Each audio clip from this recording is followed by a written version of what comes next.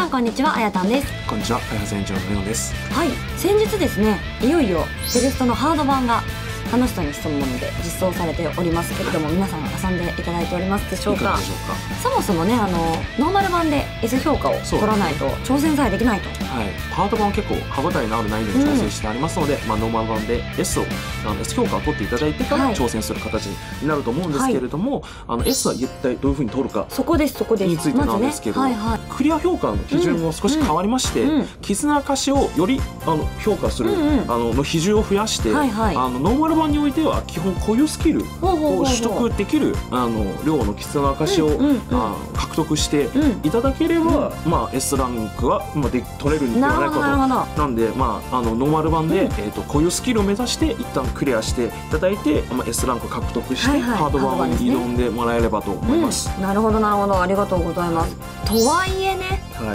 い。S ランク取れてもハード版はやっぱり難しいというお声もあるかと思うんですけれども、そうです実際どどれぐらいの感じなんですか？クリア率というか。膝の結晶、うんうん。あの極みが、はいはい。えー、と獲得できる獲得できる。というリワードがあるので、うんうんうんまあ、それ相応の、まあ、お小遣い5万うん。相当の難易度になっているんで,、あの現時点で、うんえー、と完全クリアはいはい。あのしている、えー監督さんは、うん。えー、と挑戦している監督さんの中で、うんうんえー、と9%前後の監督さんがあの完全クリアしていただいてます。挑戦される中でも9%っていうのはあそうなんですよね。結構なんか少ない印象ですよねやまあ、っぱり、そうなんですけど、そうなんですけどでもあの想定としてはなんかすごく早くクリアしてくださった監督さんもいらっしゃって、うんうんうんあすごい。あすごいなと思ったりはありがたい。とはいえこう頑張ってもなかなかねそうなんですね91%は完全クリアできないっていう、そうなんですよね。あとこのあのクリア人数よりもなんか挑戦回数がすごく増えてたりはいはいしててはいはい。皆さんあのあの、まあ、自分なりの攻略法ああじゃであ探してくださってそうあの探ってきあのいただいている監督さんもたくさんいらっしゃると思うので、うん。ありがあたい。今日は、えー、と完全クリアしてこの9%の監督さんが、はいはいはい。えー、とクリア時に使用しているオーダーでうん。採用されている選手の、えー、とランキングを調べてきました。知りたい。それをあ皆さんに紹介しつつあの攻略のヒントになっていたただければと思います。ありがとうレオンくん。嬉しい。ということで前置きが長くなりましたが 今日の8テレはそんな感じでお届けしたいと思います。ではまずは花属性からはいベスト10から見ていきたいと思います。まず1位。こちら。じゃじゃん。おおそう、まあ、ハードディレッソンにおいてはあの有原必ず採用しなきゃいけないというあのオーダー編成の制限あるので、うんうん。まあ、こちらの有原は結構うんたくさんの監督が、はい。あの採用していただいてます。ね。まあ何度言ってもゼリー2枚はそうなのよ。まあ、非常に強いのでまあ、元からハードディレッソンが実装される前からもうすでに強い。よく見ますよね。そうですね、はいはいはい。まあ、採用されてます、うん。で続いて2位こちらですよ。ね。こちらです、はい、浮田茜、えー、とピョンタ焼きです間違いない。あデッキの採用率は高いだけではなくて、うんうん。サポートとしてサポートとしてあはいはい。あの選ばれるのはもう非常に高い高いですね。のであのピョンタ焼きは皆さんなんかご存知の通り、非常になんかデッキを回す、うん。あの役割をあの担ってくれるので、はいはい。まああのこういう感じでテフターがいっぱい詰まってる時に、うん。うんピョンタ焼きを使うとあのターンを消費せずにまあテフターをあの、まあ、山蓋を回すことはできるので非常に便利なカードなんです便自分の1枚とあのサポートの1枚、はいはい。2枚構えで臨んでいる監督さんも非常に多いです。なるほどなるほど。ははい、続いて3位を見ていきましょう。い天馬ちゃん。ですね。はい、あの基本練習メニューがうん。焼きそばパンになっています。これね最初からっていうのがねそうですね。大事なんで、うん。あの序盤でまだメメニューを追加するポイントが足りないとか、はいはいはい。結構ポイントがきつい時に、うん。もともと山蓋に入っているので、うんうん。あの序盤からあのターン消費せずに追加コードを生み出して、あの山蓋回したり、うん特に狙ったりすることが可能になっている、うんうん。メニューが非常にあの便利です。はい。でそしてエンジンこのエンジンは、あはいはい。のハードリストとしては各話の最初に必ず爆弾1枚入ってくるので、はいはいはいあのこのエンジンは花3枚か黄色3枚ない時、このエンジンを使ってこのタなるほどーンを消費せずに爆弾をあの消すことができるんですね、うん。うん非常に有用なカードですね。で続いてあの、まあ、トップ10を一気にあの見ていきましょう、ドンこんな感じになっています。まあ、この中に特に注目すべきなのは、まあ、4位のあの胸躍るナイターゲームの野崎、と6位のあの鈴木。と9位の篠目なんですけど、まあ、この3名の選手には全部あのメニュー刷新かうん。メニュー改変、うん。要はあの練習メニューを削除するうん。うんメニューを持っています。これがね地味に効いてくるんですそうなんよねですよね。あの、ね。ハードディレストとしては初期山蓋に結構弱いメニューとか入ってたりするので、はいはいはいはい。そのメニューをあのは消しつつ、ん。あの山蓋を作っていくと、ん。あのうん。中盤以降から山蓋の周りが非常に良くなるので、あのいまあ、こんな感じであの今一応、まあ、僕のプレイ動画なんですけど、はいはい。全てをあの圧縮しきった場合のデッキはこんな感じに回ります、もう残り2ターンであのまだ有原1ターンで有原まだレベル2なんですけど、うんうんこれでもあのこのこんなデッキだったらデッキ完成してたらこんなに回るんで全然余裕で。確かに全然まだそうですねクリアできますね素晴らしい。そうそんなこんな感じで残り1ターンでも全然デッキね回るんで、レベル3までいけちゃいますね。はい、皆さんもぜひあのデッキ圧縮を、意識しつつ、うん。山蓋のいらないメニューをあの消しつつ山蓋か、中盤以降作ってあの中盤以降のあの難しいうんうん。特訓を狙っていくと、まあ良いかもしれないですね。はい。続いては超属性見ていきたいと思います。まずは1から3位のご紹介をお願いします。おにぎりニッタちゃん。強いですよ。もうなんかずっとね、はい。ずっとはい。安定の、そうそうリリース時からと安定の強さシンプルに星そうそうそうそう。3メニュー。にゼリー。です、ね、星3メニューは4025の強い方の星3ね。メリー、メニューになっているのでハードデレッソンにおいては練習メニューであの上がるポイントの量が高ければ高いほうんうんどやる気があ上昇しやすくなるんで、特訓レベルによるんですけどあのさ同じ星3でもこっちの方がより上がりやすい、うん。あの場面があるので非常に使い勝手がいいあのメニューになっています。しかも、はい。まあ、あの SR からの覚醒 SSR ですので確かに確かに。あの手に入りやすいんですので、うん。皆さんぜひ活用してはいみてください、はい。それ2位を見ていきましょう。おじゃじゃ川北。ともちそうですね。あの超属性唯一の既存メニュー練習メニュー基本練習メニューがゼリーとなっていうんる選手です、まあ、限定でではありますが、うんうんうんまあ、あのぜひ使ってみてください、はい。その次3位です。はいはいはい。はいピョンタ焼きです。もう。これ超属性もやっぱりね。ピョンタ焼きが強いです、本当ですね、はい、採用率こそ3位ですが、うん。サポーターとして選択されたかりあの割合がもうダントツ1位ですね。なるほどなるほど、はいやっぱりね手元に置いておきたいんですよねそうですできる限り。いざとなった時にもうて山蓋一気に5枚回せるんそうそうそうそう。で非常に強いんですよ、うん。所持している、うんうん。監督さんはもうサポーターにさ設定していくと皆さんすごい役に立つかもしれないは はい、はい。では一気に見い、ていきそうですね。ましょうか10位まで一気に見ていきましょう、こんな感じになります、特にあの注目したいのは、この5位のあのめぐる思いはいはい。の朝比奈ちゃんと、まあ、6位のお口開けましてのはい。有原なんですけど、どこに注目するかというと、あのこの予定変更ね、はいはいはい。プラあり1、ますね。プラ2が入ってるんですけれども、今回のハードデレスト楽しさに関しては、えー超属性の練習相手野崎はうんうんうん。2話と3話は全部あ1ターン目からはいはい。あのレとあの出出てきまして、はいはい。しかも滞在探査結構短いんですよね。うんうん。あのそこの特性はあのこの予定変更でこの4ターンを6ターン、うんうんうんうん。8ターンに延長するとほぼ1はフルフルで、はいはいはい。そうやる気をためるあの余裕ができるので、うんうん。えーとまあ、実際こんな感じでもう残り4ターンでも野崎1ターンでもういなくなっちゃうんですけど、これ予定変更あのプラ2でタはい。ーンを伸ばしていくと、あのお。追加コードと織り交ぜながらやっていくとそうですね。あのどんどん余裕ができてきて、はいはいはい。非常に、うん。まあ、クリアがあのしやすくなるので、まあ、皆さんはぜひあのお口開けましてももうもうそろそろ正月も近づいてきましたので、うんもしかして復刻するおかもかも。しれませんので皆さんぜひ楽しみにしていただければと思います。続いては風属性になりますですね。がこちらはベスト3のご紹介となっております。そうですね、はい。風属性はあの花と蝶どっちを狙ってもうん。必ず風の特訓をクリアしないといけないので,、あのもう風属性の枠にはどの選手が採用されたのか見ていきましょう、はい。はいまず1位。ですよね。まあ、そうですよね。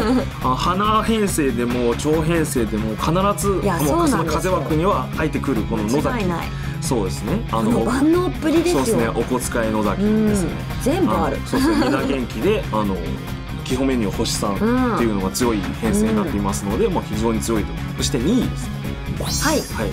風属性のうんうん。基礎メニューが、えー、と基本メニューはゼリーになってます、はいまあ、強いですよね。強いはい、あのこのゼリープラスあの追加メニューの星さん緑の,、うん。あの星さんテクニカルメニューをか組み合わせるとほとんどの緑の特訓が、うんうんうん。あのやる気は一発で貯められるんで、うんうんうん非常に使い勝手のいいあの選手になってい。ます、そして3位です。こちら、はいはいはいはい。新田ちゃん。新田ちゃん。新田ちゃんを特特別になんか言いたいのは新田ちゃんと花山ちゃんの違いは、うんうんうん新田ちゃんがついているこの星3メニューは4025の方なんですよ。強い方の星3メニューなんですよあの花山ちゃんでは一部の練習相手が必ずそのゼリーと合わせて、うん。あのうん。使わないと一発では特訓達成できないんですが、はい。あの新田ちゃんだとあのパンが回ってこなかった時でも、うんうんうん。これだけでも達成できる場面があ。るのであの若干差別ができるんですなるほよねどなるほど。この使い勝手の良さ悩ましいですね。そうですそうですね。ん最後に月属性を見ていきたいと思います、こちらもベスト3のご紹介になります。ね。あの完全クリアを狙う場合は、うん。必ず第4話にあの出現するあの月属性の,、うん。あの練習相手の特訓をクリアする一人をクリアする必要がある。あうん。の朝比奈か柊のどっちかがクリアする必要がありますので、完全クリア狙う場合はどうしてもあの採用する必要が出てくうん。る月属性なんですが、採用トップ3の1位はこちらです。はい。なるほど、はい、このつくもちゃんしか持ってないこの2色の練習メニュー、あのホーム早急ですが、あの星2でありながらも、うん。普通の星2よりもポイントの上昇力が高いので、あのゼリーなどと組み合わせると2色同時に達成できたりすることが、あのできるんで非常に便利なあの、はい。かあの練習メニューになっています。ので、うんうん。4話でなって初めて月属性の必要が出てくるので、最初はあの3話までは月属月を敵に山札に。入れなくてあ確かのに済むので非常に便利な。すごい便利ですね。そうなんですよ。なるほど、はい。もうこれはお迎えしている方は間違いなくつくもちゃんでいきたいところですが、採用して試してみてください、で2位を見ていきましょう、はい。こちらです、中野ちゃんですね、中野ちゃんです。基本練習メニューがあって、焼きそばパンになってて、えー、3話までこれ単体で使えるのであの確か邪に魔にならないそう全く邪魔にならない。確かに。はい、上でそうですね。追加メニュー両方とも24の総合そうなん総合練習。強い方のメニューなんです。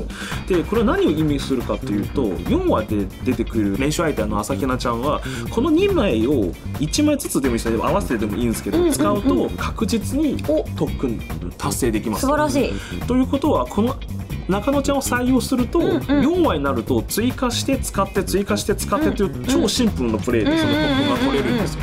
必ず一つ取る必要があるのでこの必ず一つ取れる。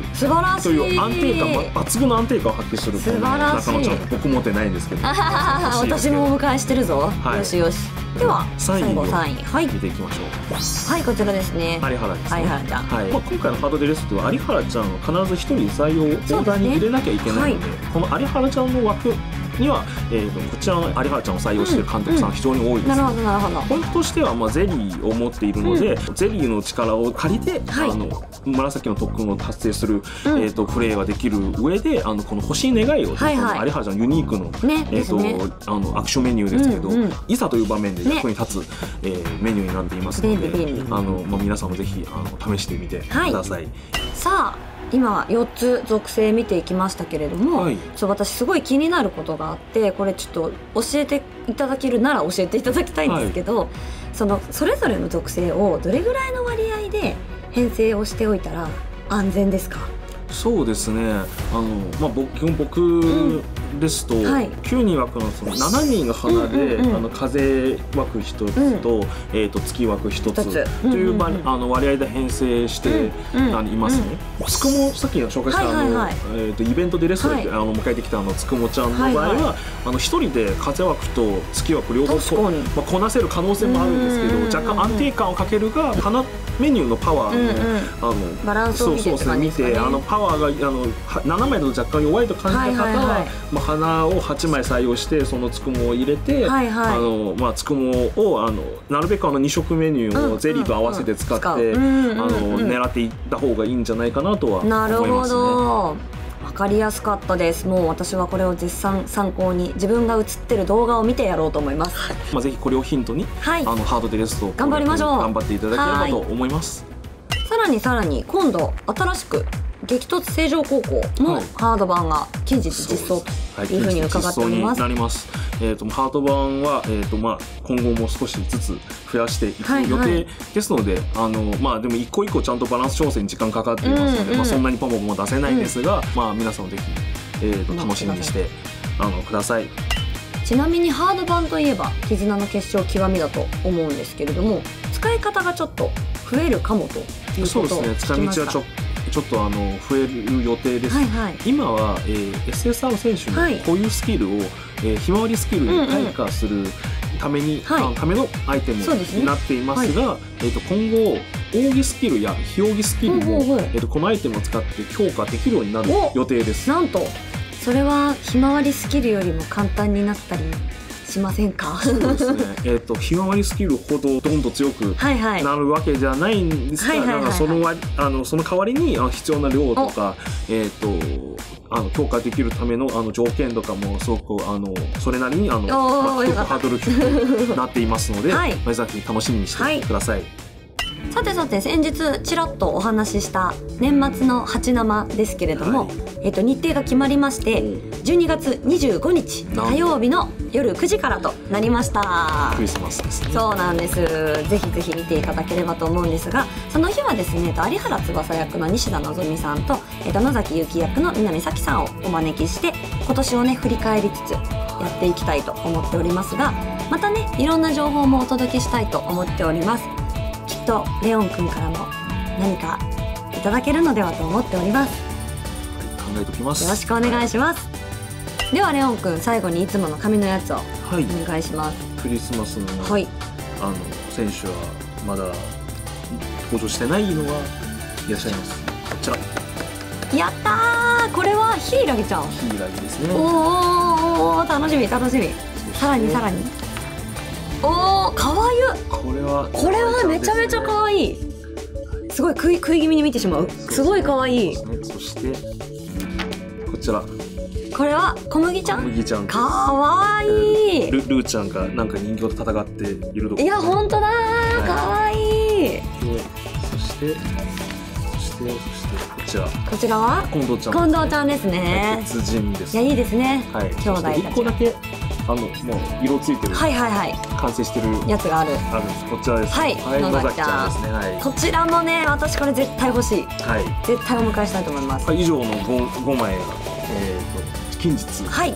何かしらのかし形ではい。実装予定ですので、はい。ぜひ楽しみにしてください。はい。ハチテレでは引き続き動画やゲームに関するご要望などメッセージをお待ちしております。公式サイトのお問い合わせのご意見ご要望から受け付けておりますので気軽に送ってください。チャンネル登録もお忘れなく。はい、それではまた次回お会いしましょう。バイバイイ